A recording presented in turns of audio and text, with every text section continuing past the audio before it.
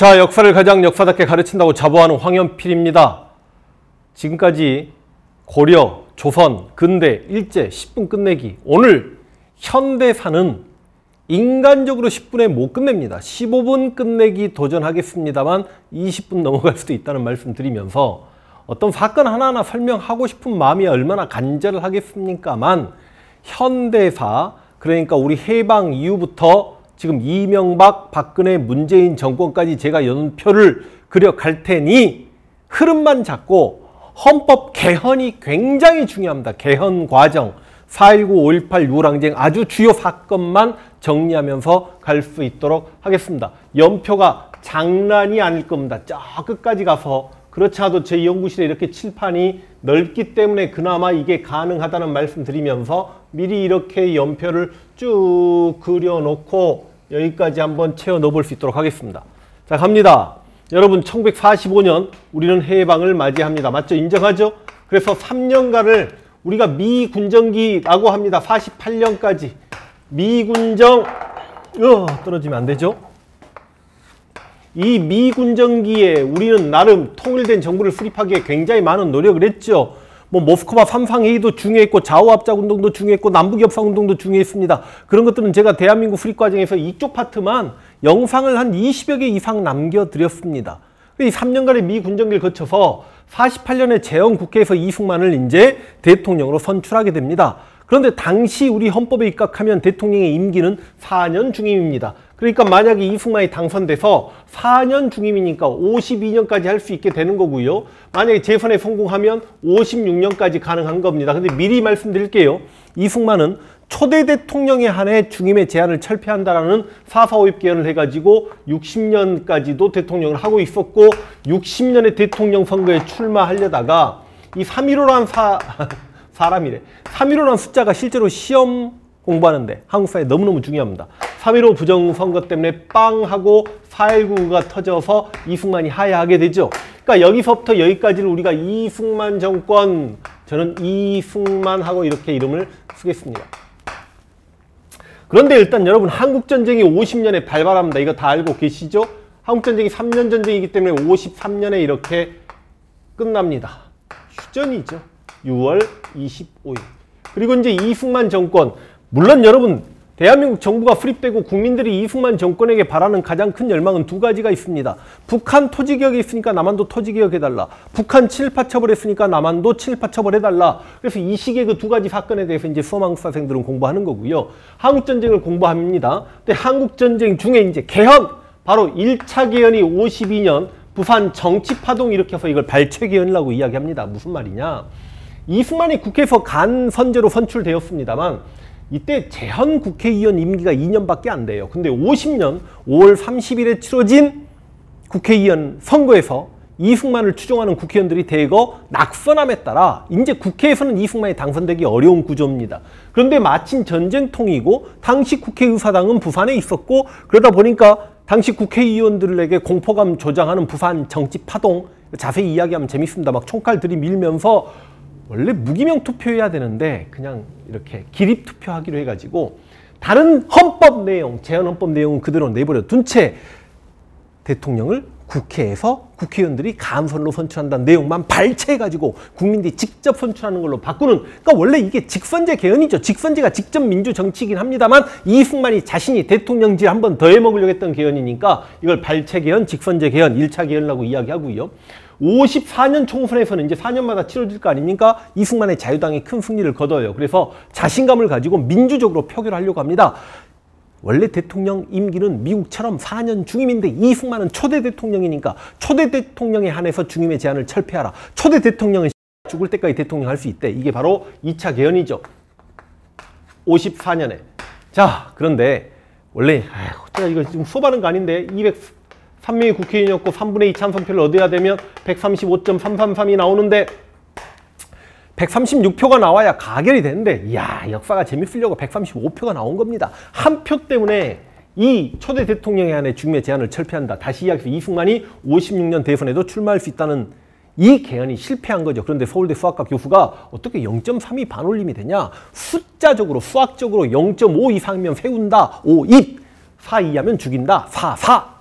4사 5입에서 땅땅땅 쳐가지고 삼선 개헌을 통과시켜버리죠. 이게 바로 4사 5입 개헌, 삼선 개헌입니다. 그러다 보니까 항상 현직 대통령이 한 번 더 대통령 해먹으려고 장기 집권하려고 헌법까지 뜯어 고쳐가면서 출마하는 대선이 유명하기 때문에 56년 대선이 상당히 유명한 대선이고 이때 민주당의 선거고 들어보셨을 겁니다.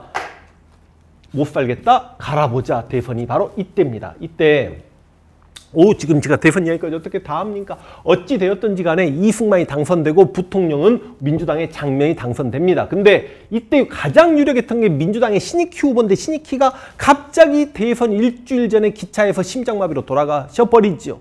그러다 보니까 이승만이 당선된 건데 그래서 민주당은 대선 후보가 없어요. 그러다 보니까 무소속으로 출마했던 조봉암이 엄청나게 선전하게 되고 그 조봉암이 야 여기서 진보당이라는 당을 만들었는데 조봉암이 김일성의 지령을 받았던 간첩이다라고 해가지고 진보당 사건을 조작해내면서 조봉암을 사형에 처해버리는데 수만국사에서는 진보당 사건이 굉장히 시험 출제가 많이 된다는 거 이승만의 독재를 이야기하고 싶은 거죠.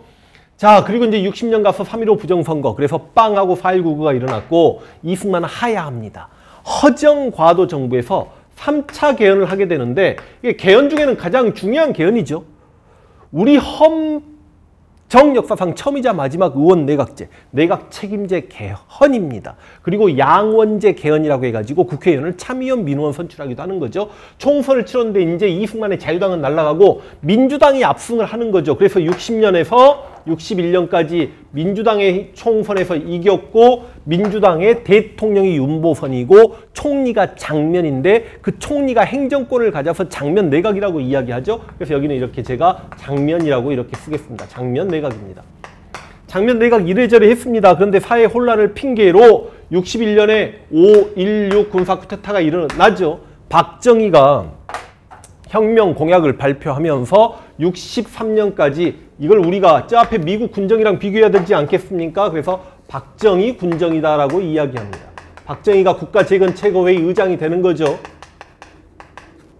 2년만 군정을 시행하고 민간인에게 정권을 이행하겠다라고 이야기합니다. 그런데 이제 61년에 쿠데타 성공했고 62년 후반쯤 가서 2년만 군정을 시행하고 민간인에게 정권을 이행하겠다고 했던 박정희가 야 군정을 조금 연장하면 안 되겠니? 막 이런 이야기 하다 보니까 아니 네가 이승만 하고 뭐가 달라? 그러니까 박정희가 고민을 합니다. 야 내가 민간인에게 정권을 이행한다고 했는데 약속은 지켜야 될 텐데 아하 내가 민간인이 되면 되겠구나 하고 자기가 군복 벗어버리죠. 안녕하세요 나 민간인입니다.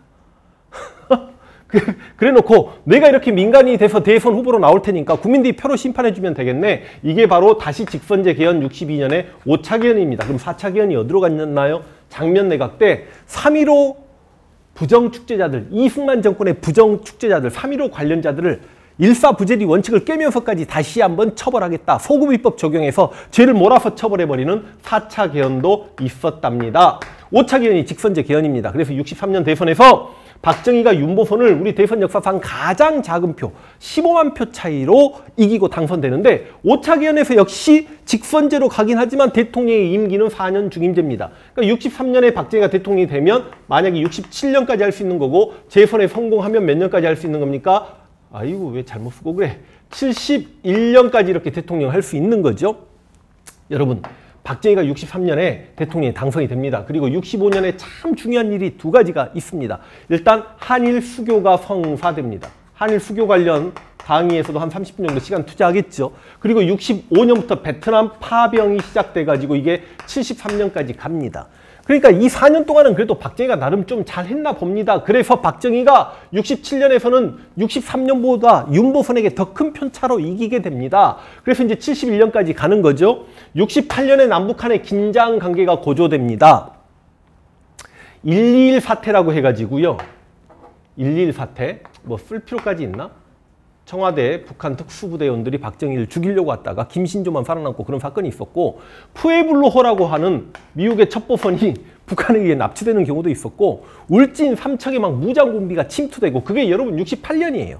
그러니까 이 남북한의 긴장관계가 고조되니까 그걸 핑계로 박정희가 야 저 북한의 김일성을 막하는 건 나 박정희 외에는 안 되는 거 아니야? 그래서 헌법을 한 번 더 개헌할 게 그게 바로 6차 개헌인데 이게 대통령이 세 번 대선에 나올 수 있는 삼성 개헌을 날치기 통과시켜버립니다. 그러니까 일종의 이것도 삼성 개헌이고 이것도 삼선 개헌이고 헌법에 명시된 대통령의 임기를 어겨가면서까지 삼선 개헌 해가면서까지 권력을 연장하려고 했던 대표적인 사람이 이승만과 박정희이기 때문에 우리 교과서에도 이승만과 박정희는 독재자로 규정을 하고 있고 이들의 이 헌법 개헌에 대해서 미친 듯이 시험 출제를 해버립니다.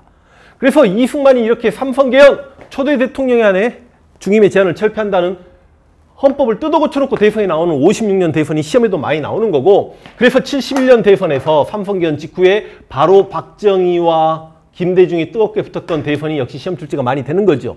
이 대선에서 진짜 박정희가 고전합니다. 근데 박정희는 3선만 더하기로 했으니까 원래는 이 75년까지 해야 되는 거죠.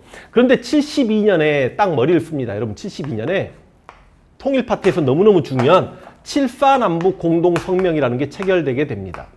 자주 평화 민족 대단결의 원칙에 입각해서 통일 3대 원칙이 발표되고 남북조조위원회가 설치되고 이거 완전히 통일 분위기 조성됩니다. 박정희가 뭐라고 이야기하냐면 야 내 임기가 3년밖에 안 남았는데 3년 동안에 통일을 완수해내기는 어렵지 않냐. 통일 때까지만 내가 대통령 할게. 국민들이 좀 표로 좀 찬성표 던져줘. 그래놓고 바로 7차 개헌에 착수해버립니다. 이게 바로 그 유명한 유신 헌법이죠. 초강력 대통령이 탄생하는 겁니다. 대통령이 입법권을 장악합니다. 국회의원 3분의 1을 임명하죠. 이들을 유신정우회라고 이야기하고 국회 해상권을 가지고 있습니다. 대통령이 긴급조치를 발동시킬 수 있습니다. 긴급조치라는 건 대통령의 명령이 헌법보다 우선하게 되는 거죠. 그래서 대통령은 또 어디서 선출하냐면 통일주체 국민회의에서 선출하는데 이거 완전히 이게 공산주의예요. 이그 통일 주체 국민회의에서 대통령이 선출됐는데 이때 박정희 몇 번째로 선출됩니까? 한 번, 두 번, 세 번, 네 번째 대통령 됐는데 이때 우리랑 대한민국과 수교하고 있는 나라가 그래도 한 100, 한 4, 50개국 되지 않았을까요? 아직 동유럽이나 이런 국가들은 수교를 하지 않고 있을 때이긴 합니다만 아, 여러분 전 세계 나라들이 우리나라에 들어와 있는 각국 대사관에 있는 외교관이 참석을 하지 않아요. 미국의 외교관이건 뭐 일본의 외교관이건 이건 전 세계가 왕따 났다는 거지. 딱 당시 세계 나라 외교관이 취임식에 참석합니다. 어딜까요? 대만, 그리고 아프리카 국가 두 개, 이디오피아, 그리고 가봉. 참. 그래서 이제 이때 통일 주체 국민회의에서 대통령 선출하는데 몇 년째 대통령을 선출하면 6년짜리예요. 근데 6년짜리인데 중임도 아니고 이거 연임입니다. 그러니까 쉽게 이야기하면 72년에 박정희가 7차 기원 유신헌법을 만들어 놓고 총통제로 가려고 죽을 때까지 해먹겠다라고 이야기한 겁니다. 그래서 72년부터 6년을 끊을게요. 그러면 몇 년이 됩니까? 이렇게 가면 여기가 70 아, 8년이 됩니다. 그럼 여러분 이제 여기를 표를 나눕시다. 72년 때까지를 우리가 박정희 정권, 그냥 이건 박정희 정권이다라고 이야기하고요. 여기서부터 이제 유신이에요. 그런데 여러분 78년에 또 통일주체 국민회의에서 박정희가 당선이 되고 79년이 되었습니다만 79년에 무슨 일이 벌어집니까? 야, 이때 78년에 2차 석유 파동으로 경제가 엉망이었고 79년에 YH 무역에서 막 부도나는 과정에서 시민당 당사 농성 그 여공들이 농성하는 과정에서 경찰이 시민당 당사까지 들어오니까 김영삼이 막 박정희를 비판하는 외신 기자들 불러 모아서 막 회견을 했고 그것 때문에 김영삼이 국회의원에서 제명되니까 바로 부마 항쟁이 있었던 게 79년 아닙니까? 부마 항쟁이 한창일 때 박정희가 10월 26일 날 죽습니다. 12.6 사태죠. 그래서 이제 유신의 심장이 무너진 거죠. 아, 민주사회가 도래하나 싶었는데 서울에서 이상한 빛이 비춰지기 시작합니다. 사람 머리에서 반짝반짝하고 막 이상한 새끼가 등장해요. 그게 12세기 신군부 쿠데타가 되겠습니다. 그래서 이 신군부 쿠데타 일어나고 나서 이제 여러분 80년이 됩니다. 80년 서울의 봄이 있었죠. 진짜 서울에서 여러분 시 규모 장난 아니었습니다. 그런데 서울의 봄 좀 지워줄까? 예쁘게 가게. 서울의 봄이 있었고 시위를 중단시켰습니다만 갑자기 전두환 일당이 5.17 비상계엄을 확대시켜버리죠. 5.17 비상계엄 확대 때문에 광주에서 빵 하고 터진 게 광주 민주화운동, 5.18 광주 민주화운동입니다. 자 여러분 실제로 대통령이 79년에 박정희가 서거하고 12월 달에 최규하가 대통령이 됐으나 이렇게 전두환이 쿠데타를 일으킨 거고 그 다음 5.17 비상계엄을 확대하고 5.18 광주 민주화운동을 진압하고 전두환은 국가보위 비상대책위원회 국보위를 만들고 나서 8월 달에 지가 대통령이 돼요. 근데 이때 최규하나 여기 전두환도 박정희가 유신 체제에 만들어 놓은 통일 주체 국민 회의 안에 들어가서 대통령이 된 거야. 그랬다가 전두환이 조금 자존심이 상했나 봐. 내가 유신을 끝내겠어 하고 전두환이 유신을 끝내는 8차 개헌을 우와 단행합니다. 80년 10월 달에. 그래서 엄밀히 따지면 여러분 이 80년까지가 유신이에요. 정확하게. 일반적으로 79년에 박정희가 죽으면서 유신이 끝났다고 생각하지만 유신 시대는 80년까지고 그리고 자기가 81년 2월에 취임을 합니다. 이쪽이 복잡해지네. 81년 2월에 새롭게 대통령이 취임을 해요. 그러면 어디까지 신군부라고 해야 되냐면 이거를 신군부라고 해야 됩니다. 이 신군부는 앞에 박정희 군부랑 비교하기 위해서 신군부라고 이야기하는 거죠. 근데 이때 8차 개헌이 뭐냐면 대통령은 여전히 체육관에 들어가서 간선제로 선출하는 건데 선거위원들이 선출하는 건데 통일주체 국민회의에서 박정희는 한 2,500명 모았으면 빡빡이는요 그 두 배 한 5,000명 선거인단 모아가지고 대통령이 당선이 됐죠. 근데 대통령을 한 번만 하겠다라고 합니다. 근데 야 이 빡빡이 머리 쓴 거 봐봐. 한 번만 하는데 4년 한 번만 한다? 5년 한 번만 한다도 아니고 7년 동안 한 번만 하겠대. 여러분 같으면 4년 중임이 좋아요? 아니면 7년 단임이 좋아요? 4년 하고 국민들에게 심판받아서 잘하면 4년 더 하고 못하면 그냥 날아가는 건데 7년 한 방, 와, 머리 쓴 거야. 그래서 7년 단임제로 갑니다. 81년 2월에 취임했으니까 언제까지 가겠습니까? 7년이면 88년 2월에 전두환의 임기는 끝나야만 하는 겁니다. 그래서 우리가 이 시기를 이제 무슨 정권이라고 이야기합니까? 빡빡이 정권, 전두환 정권이다라고 이야기합니다. 여러분 전두환 때 굉장히 많은 일들이 있습니다만 생략하겠습니다. 그런데 이제 87년 갑니다. 여러분 박종철 고문치사 사건 이후에 넥타이 부대들 직선제 개헌 요구 있었고 그래서 갑자기 대통령이 TV에 나와서 헌법을 어, 바꿔서 직선제로 개헌해 주려나 했는데 전두환 빡빡이가 TV에서 인상 쓰면서 본인은 하면서 4.13 호, 헌 조치 헌법을 수호하고 지켜야 되겠대. 그런 의무를 가지고 있대. 젠장 지금 대한민국의 헌법을 보십시오. 대한민국 헌법들은 걸레헌법, 누더기 헌법입니다. 권력자들 입맛에 맞게 마음대로 뜯어 고쳐진 헌법인데 국민들이 이제 처음으로 직선제 개헌을 요구하는데 직선제 개헌 안 할 거야 라고 해버리니까 빵 하고 터져버린 게 바로 6월 항쟁이죠. 60 항쟁이다라고도 이야기합니다. 이게 바로 87년 상황이 되겠습니다.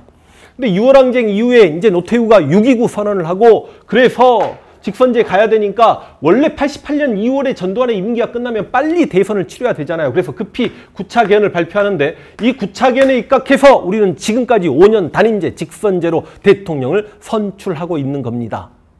그래서 시험에 굉장히 많이 출제되는 9차 개헌, 5년 단임제 직선제 개헌. 직선제 개헌에 성공한 거죠. 6월 항쟁은 성공한 항쟁입니다. 그런데 이제 대통령 선거에서 완전 죽서서 개져버리죠. 1로 3김의 대결입니다. 김영삼과 김대중이 특히 이렇게 분열하는 과정에서 전두환의 하수인이었던 노태우가 당선이 돼버리니 이제부터는 대통령 임기는 5년 갑니다. 앞으로 대선은 무조건 12월에 치러지고요. 대통령은 2월에 취임한다라고 생각하시면 되겠습니다. 5년씩 끊어가면 갈 수 있을까요? 저기까지? 93년까지 노태우 임기가 됩니다. 노태우예요. 노태우 정권. 자, 92년 대선에서 김영삼이 김대중을 이깁니다. 그래서 98년까지 무슨 정권? 김영삼 정권 이렇게 가겠습니다. 김영삼 정권. 97년 대선에서 김대중이 이회창에게 승리합니다. 그래서 여러분 03년까지 김대중 정권입니다. 김대중 정권. 02년 대선에서 노무현이 다시 한번 이회창에게 승리합니다. 이회창. 두 번 나오네. 08년까지 갑니다. 이게 여러분 노무현 정권입니다. 07년 대선에서 이명박이 정동영에게 승리합니다. 그럼 몇 년이야? 13년까지 가게 됩니다. 그러니까 무조건 여러분 뭐 02년 대선이다. 02년 12월에 대선 치르고 3월 03년 2월에 취임하는 거예요. 07년 12월에 대선 치르고 08년 2월에 취임하는 겁니다. 여기 이명박 정권. 그리고 12년 대선에서 박근혜가 문재인에게 승리합니다. 그래서 몇 년까지 가야 됩니까? 18년까지 가야 되고 17년 대선에서 누군가 승리하면 몇 년까지 가야 됩니까? 계산 안 돼요. 원래는 이렇게 해서 2023년까지 가야 되는데 문제는 박근혜 대통령이 탄핵을 당하면서 17년에 끊어지게 되니까 이제 후손들이 만약에 개헌이 안 되게 되면 대통령들 몇 년에서 몇 년까지 공부하다가 기분 진짜 완전히 박근혜가 다 뒤집어 놔버렸습니다. 여기까지 박근혜 정권이고요. 지금 현재도 문재인 정권입니다. 계속 이렇게 이쁘게 그래도 가보자. 이렇게 가고 현재 문재인 정권 이렇게. 자, 이러면 다 되죠. 그런데 일반적으로 수험한국사는 지금 어디까지 시험 출제가 되냐면 일반적으로 노무현 정권까지만 시험 출제가 되기도 합니다. 여러분들 대통령들 선후관계 한번 제가 보너스로 좀 잡아드려 볼까요? 1대 2대 대통령 한번 보십시다. 여기 1대 대통령입니다. 이승만. 2대 대통령 이승만입니다. 3대 이승만이고 4대 3.15 부정선거인데 취임하기 전에 4.19로 이승만이 하야 합니다. 그러니까 장면 내각에서 윤보선이 바로 4대 대통령이 됩니다. 박정희가 63년에 5대, 67년에 6대, 71년에 7대, 그 다음 72년에 8대, 78년에 9대 박정희가 다섯 번에 먹습니다. 그리고 11.6 이후에 최규하가 10대, 전두환 빡빡이가요 5.18 이후에 11대를 해 먹습니다. 8차 개헌하고 여기서 12대고요. 그 다음 노태우 13대, 김영삼 14대, 김대중 15대, 노무현 16대, 이명박 17대, 박근혜 18대, 지금 문재인 19대 이렇게 생각하시면 되겠고 이제 공화국 몇 공화국 이런 이야기 들어보셨을 텐데 헌법 체제가 바뀌면서 공화국이 완전히 바뀝니다만 이승만을 우리가 제1공화국이다라고 이야기합니다. 여기 장면 내각을 제2공화국이고요. 박정희를 우리가 3공화국 이렇게 이야기합니다. 유신 체제 4공화국이죠. 그 다음 전두환 정권 드라마에도 나왔습니다. 5공화국이고 이때부터 6월항쟁으로 9차 개헌되고 5년 단임제니까 실은 지금까지 다 6공화국이에요. 6공화국인데 이제 김영삼부터 문민정부다 이런 표현을 썼고요. 김대중은 국민의 정부다 이런 표현을 썼고요. 노무현은 참여정부다 이런 표현을 썼죠.